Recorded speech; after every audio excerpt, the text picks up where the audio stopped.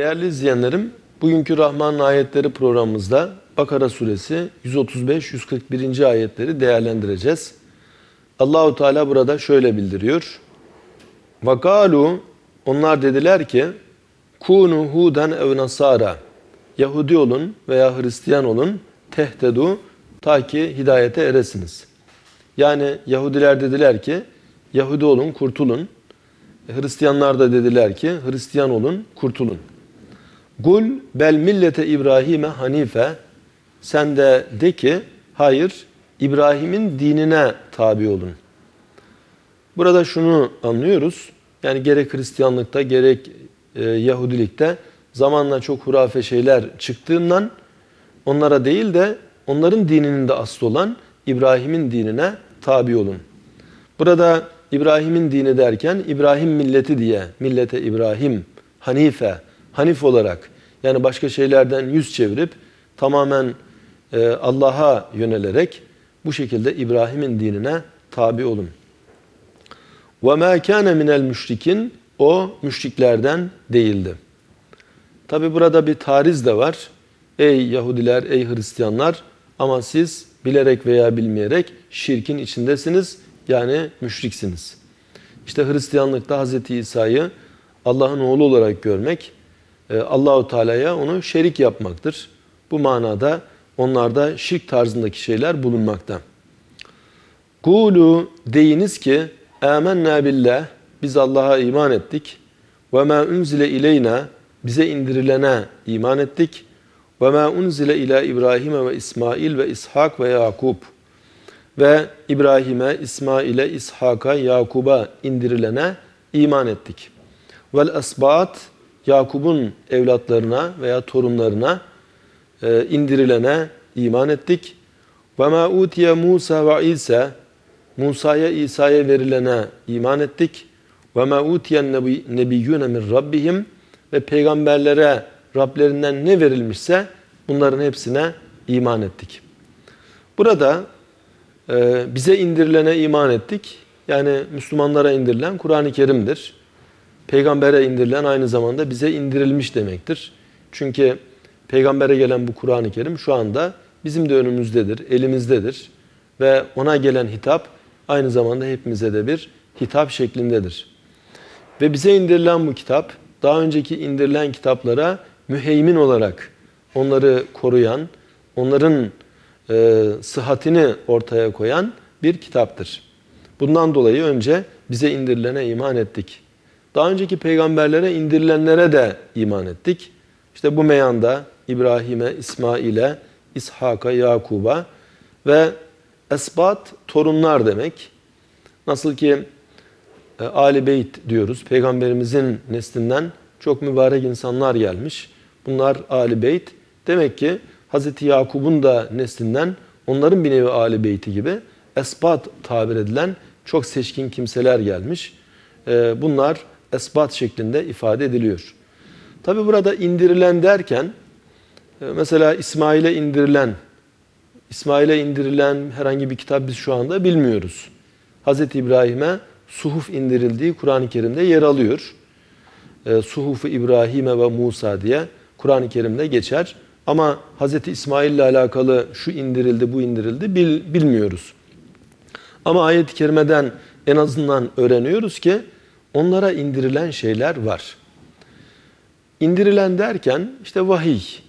Her peygambere vahiy gelmiştir. Vahiy ile elbette onun kendi diniyle alakalı veya gününün meseleleriyle alakalı taraf ilahiden bir takım mesajlar verilmiştir. İşte biz bütün bunlara genel anlamda toplu halde iman ettik.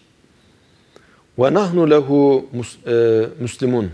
Evet daha evveli la nuferrigu beyne ahadin minhum biz onlar arasında herhangi bir ayrım yapmayız. Yani hem İsa'ya inanırız, hem Musa'ya inanırız, hem İbrahim'e inanırız. Hepsine toptan iman ederiz. Yahudiler e, Hz. İsa'ya e, inanmıyorlar. Peygamberimize de inanmıyorlar. Hristiyanlar Hz. Musa'yı kabul ediyor ama peygamberimizi kabul etmiyorlar. Bizler Müslümanlar olarak bunlar arasında herhangi bir ayrım yapmaksızın hepsini toptan kabul ediyoruz. Ve nahnu lehu muslimun ve biz ona teslim olmuş kimseleriz. Fe in amenu şayet onlar iman ederlerse bimisli ma amantum bihi sizin iman ettiğiniz şekilde iman ederlerse fakat ihtedev hidayete ermiş olurlar. Yani siz nasıl iman ediyorsanız onlar da aynı tarz iman ederlerse hidayete ererler. Ve in tevellev eğer yüz çevirirlerse fe innema hum fi şikak onlar bir ayrılık içindedirler. Diğer şıkta, diğer canipte kalmıştırlar. Diğer tarafı, diğer taraf olmayı seçmiştirler. Feseyekfikehumullah onlara karşı Allah sana kifayet edecek. Yani onların şerlerine, onların aleyhteki desiselerine, hilelerine karşı Allah sana kafi gelecek. Ve huves semiul alim o işitendir ve bilendir. Bu aynı zamanda Allahu Teala'nın e, peygamberimize kafi geleceğiyle alakalı bir delil gibidir. Diyelim bir insan bir yerde yardıma ihtiyacı var. E, yardım e, edecek olan kimseye sesleniyor ama sesini duyuramıyorsa e, o kimse güçlü kuvvetli de olsa yardıma gelemez. Çünkü duymuyor. E, onun durumunu bilmiyor. Ama onun durumunu bilse, onun sesini işitse ona yardım eder. Bizler Allahu Teala'nın e, bize yardım edeceğine inanıyoruz ve bunun tahakkuku içinde elbette Allahu Teala'nın e, bizim sesimizi işitmesi, kalbimizden geçenleri bilmesi, durumumuzu bilmesi gerekiyor. İşte Allahu Teala Allah düşmanlarına karşı sana kafidir derken peygamberimize Cenab-ı Hakk'ın aynı zamanda semi olduğunu, alim olduğunu, bütün sesleri işittiğini ve her şeyi bildiğini nazara veriyor. Sıbgat Allah, Allah'ın boyası. Ve men ahsenu minallahi sıbga daha güzel kimin boyası olabilir? Ve nahnu lehu abidun ve biz ona abid olan, ona kul olan kimseleriz. Sıbgat Allah, Allah'ın boyası demek ve Allah'ın dinini ifade ediyor. Allah'ın dinini üzerimizde göstermek. Nasıl ki birisi bir boyalı bir küpe diyelim girdi. Orada hangi boya varsa o boyayla boyanır. Çıktığında üzerinde o renkler kendini gösterir. Onun gibi her bir din, her bir sistem adeta bir boya küpü gibi. İslam'ın kendine göre renkleri var. İslam'ın kendine göre e, verdiği özellikler var. Başka dinlerin de yine her birinin kendine göre verdikleri özellikler var. E, işte Hristiyanlarda vaftiz olayı var. Vaftiz olayında bir suya, e, Mahmudiye denilen bir suya onlar böyle daldırılıp çıkarılıyor. Böylece bunun neticesinde e, artık e, Hristiyan olduğu, daima Hristiyan olacağı kabul ediliyor. Buna mukabil olarak Kur'an-ı Kerim yani bu sadece bir suya daldırıp çıkarma olayı değildir. O dinin boyasını kendi üzerimizde göstermek gerekir. İşte Kur'an-ı Kerim'de Allahü Teala ideal insan tipini ortaya koymuştur. Ve bununla en güzel boyalanan, bunu en güzel kendinde gösteren de Peygamber Efendimiz olmuştur. Peygamberimiz Aleyhisselatü Vesselam e, Kur'an-ı Kerim'de neler nazara verilmişse hepsini kendinde gösteriyor. Yani İslam'ı o renklerle beraber düşünecek olursak İslam'ın bütün renkleri peygamberimizin hayatında kendisini gösteriyor. Bize de düşen bu renklerle bezenmek, İslam'ın her bir güzel ahlakını kendimizde göstermek. İşte Kur'an-ı Kerim istikameti emrediyor. Dost doğru olabilmeliyiz. Kur'an-ı Kerim e, yalan söylemekten nehyediyor. Yalan söylemekten kaçabilmeliyiz. Gıybeti yasaklıyor. Dilimiz gıybet etmemeli. Sadıklarla beraber olun diyor. Daima doğrularla beraber e, olmak gerekiyor. Bu manada Kur'an-ı Kerim bizi bir renge, bir boyaya koyuyor tabiri caizse. Belli bir kalıba bizi sokuyor. O kalıp içerisinde yetişmek gerekiyor. Öte yandan mecazi bir yönüyle değerlendirilecek olursa Allah'ın boyası daha güzel boya kimin olabilir? İşte etrafta Allah'ın boyasını her şeyde görüyoruz insana vurduğu boya, çiçeklere vurduğu boya, gökyüzüne vurduğu boya, denizlere vurduğu boya, bir ağacı boyaması gibi gerçekten bunlar en güzel renklerle bezenmiş durumda ve bütün renkler, Allah'ın mülkündeki bütün renkler gayet güzel, çok güzel bir harmoni, harmoni meydana getiriyor Ve bu şekilde insan o renkleri izlemekten, o renk cümbüşünden gerçekten zevk alıyor.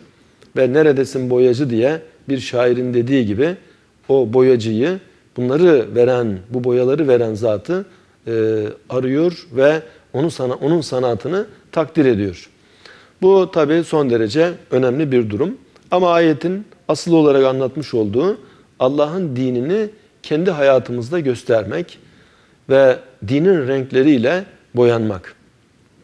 Bir insan diyelim sigara içmeyen bir insan sigara içilen bir kahvaneye girse oradaki o hava onun üzerine siniyor. İşte ağır bir hava, sigara kokusu ve daha belki başka kokular ve o insan dışarıya çıktığında mesela evine vardığında o kokularla beraber gidiyor. Ve e, evden belki de şüpheyle bakıyorlar. Yoksa sen de sigaraya mı başladın diyorlar. Sigaraya başlamış değil ama içilen bir ortamda bulunmak e, o ortam kendi üzerine sinmiş oluyor.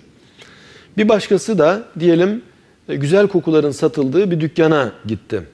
Orada herhangi bir e, koku da almamış olabilir. Ama o dükkanda bir miktar bulunmak onu e, o boyalı o e, kokularla e, etkilenmiş hale getirecektir. Üzerine o kokular sinecektir ve çıktığı zaman da o kokular onda hissedilecektir. Demek ki e, İslami bir ortam içerisinde olmak da bunun gibi. Eğer çok güzel bir ortamda bulunursak o İslami ortam bizi belli bir kalıba sokar ve İslam'ın e, ortaya koyduğu esaslar bakışımıza yansır, duruşumuza yansır, sözlerimize yansır, niyetlerimize yansır, yediğimiz içtiğimiz şeylere yansır ve böylece Allah'ın boyası bizim üzerimizde çok net bir şekilde görülmüş olur. Kul etuhaccunena fillahi de ki Allah hakkında bizimle mücadeleye mi girişiyorsunuz? Allah hakkında bizimle tartışıyor musunuz? Ve huve rabbuna ve rabbukum halbuki Allah hem bizim Rabbimiz hem de sizin Rabbiniz. Yani haşa Allah bazılarının Rabbi de diğerlerinin değil böyle diyemeyiz. Allah kafirlerin de Rabbidir. Yahudilerin de Hristiyanların da Rabbidir. O hem bizim Rabbimiz hem de sizin Rabbiniz. Ve lena a'maluna bizim amellerimiz bize ve lekum a'malukum sizin amelleriniz de size. Yani siz kendi yaptıklarınızdan sorumlusunuz. Biz de kendi yaptıklarımızdan sorumluyuz. Ve nahnu lehu muhlisun ve biz ona muhlis olan kimseleriz. Yani muhlis demek ihlaslı. Yaptığımız ameli sırf onun için yapan kimseleriz. Değerli izleyenlerim, burada e, üç, üç ayrı ayette ve nahnu lehu muslimun ve nahnu lehu abidun ve nahnu lehu muhlisun. Yani aynı kalıp ile e, üç ayrı cümle yer aldı. Bunlardan birincisi ve nahnu lehu muslimun. Biz Allah'a teslim olmuş Müslüman kimseleriz. Ardından ve nahnu lehu abidun. Biz ona abd olan, ona kulluk yapan kimseleriz. Üçüncü merhalede de ve nahnu lehu muhlisun. Biz ona ihlasla ibadet eden, yaptığı ibadeti Allah için yapan kimseleriz. Demek ki önce bir Müslüman olmak, sadece ben Müslüman oldum deyip orada bırakmamak, ibadetimizi de yapmak gerekiyor. Ve üçüncü bir merhale olarak da yapmış olduğumuz ibadeti sırf Allah için yapmak. Eğer Allah için yapmazsak, e, cami de yaptırsak bundan sevap elde edemeyiz. Adam diyelim cami yaptırıyor ama şöhretine yaptırıyor. Falanca cami yaptırdı desinler diye yaptırıyor. Bu bir riyakardır. Allah'ın rızasını gözetmemiştir. Allah'ın rızasını gözetmeyince de bundan elde edebileceği sevap yoktur. Bir hadis-i şerifte ifade ediliyor. İşte bazı insanlar diğer alemde bakacaklar. Hac sevabı yok. Ya Rabbi biz hacca da gitmiştik ama hac sevabı yok. Yazılmamış diyecekler. Cenab-ı Hak şöyle buyuracakmış. Siz hacca falanca hacı oldu desinler diye gittiniz. Benim için gitmediniz. Dünyada beklediğinizi aldınız. Size itibar ettiler. E, ama benden bir şey istemediniz ki ben bugün size karşılık vereyim. Demek ki e, Müslüm olmak güzel, Müslüman olmak güzel. Ama sadece isimde Müslüman olmak yetmiyor. İbadet hayatımızda da İslam'ı göstermek lazım. Yani İslamiyet'in teorini pratik hayatımızda, yaşantımızda göstermek gerekiyor. Ve daha da ilerisi yaptığımız bütün ibadetlerde ihlas sahibi olmak gerekiyor. Bu konuda meşhur bir e, rivayette şöyle geçer. Heleken nas illel alimun. İnsanlar helak oldu, alimler kurtuldu. Ve helekel alimun illel amilun. Yani e, alimler de helak olur. Ancak e, ibadet edenler kurtulur. E, ve onlar da helak olabilir. Ancak ihlas sahipleri kurtulur. Yani hadisin mana olarak ifade etmek gerekirse sadece ilim yetmiyor, amel lazım. Sadece amel de kurtarmıyor. Aynı zamanda ihlas lazım. Bugün okumuş olduğumuz bu bölümde de e, bu manaya işaret eden ard arda üç ayet ve nahnu lehu muslimun ve nahnu lehu abidun ve nahnu lehu muhrisun bu manaya dikkat çekiyor. Ee, Müslüman olmak lazım ama e, aynı zamanda Allah'a kul olmak yani dinin emirlerini yerine getirmek bunu yaparken de ihlasla bunları yapmak gerekiyor. Em tegulune yoksa siz şöyle mi diyorsunuz? İnne İbrahim'e ve İsmail'e ve İshak ve, ve Yakub vel asbat İbrahim, İsmail, İshak, Yakup ve torunlar o nesilden gelenler kanu huden ev nasara yani onlar Yahudiydi veya Hristiyandı. Böyle mi diyorsunuz? Kul e entum a'lemu emillah. Yani de ki siz mi daha iyi biliyorsunuz yoksa Allah mı daha iyi biliyor? Yani onların kim olduğunu, neye mensup olduğunu siz mi daha iyi bilirsiniz yoksa Allah mı? Ve men azlamu mimmen keteme şehadeten indehu min Allah. Yani kendi nezdinde Allah'tan bir şehadet olup da bunu e, gizleyenden daha zalim kim olabilir? Yani bir insan diyelim e, Yahudi olabilir. E, okumuş olduğu Tevrat'ta peygamberimizin peygamberliğini de görmüştür. Artık bu onda bir emanet gibidir. Kendisine sorulduğunda e, bunu itiraf etmesi gerekir. Evet bizim kitapta böyle var diye itiraf etmesi gerekir. Ama bile bile bunu gizlemeye çalışacak olursa bundan daha zalim kim olabilir? Ve mallahu bi gafilin amma ta'melun.